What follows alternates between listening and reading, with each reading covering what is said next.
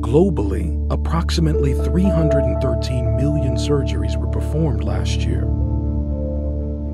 many of which require general anesthesia. Under-administration can cause unintended intraoperative awareness, wherein patients are partially awake but unable to speak or move. Such incidents sometimes result in long-term psychological trauma. Over-administration can cause cardiac arrest and sometimes death. To prevent such instances, the ventilator and vaporizer functions of the anesthesia machine require routine testing to ensure patient safety.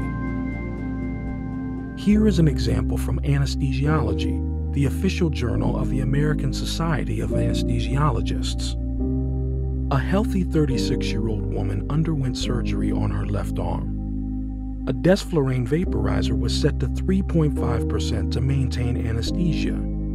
After five minutes, the patient became oxygen deficient and displayed abnormally slow heart activity, followed soon after by cardiac arrest. The EKG monitor indicated that her heart had stopped.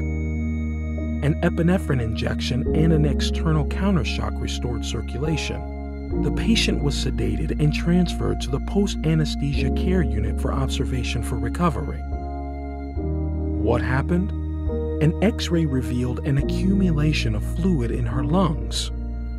An analysis of the equipment revealed that the vaporizer control dial was cracked internally, causing desflurane to be administered at a much higher concentration than indicated. The patient had received 23% desflurane rather than the intended 3.5%. Had a concentration check been performed prior to the administration, the faulty vaporizer could have been removed from use, preventing injury to the patient. An anesthesia concentration tester such as vapor would have shown that the true concentration being delivered in the gas stream was much higher than the concentration indicated by the vaporizer dial. Fluke Biomedical believes in patient safety first.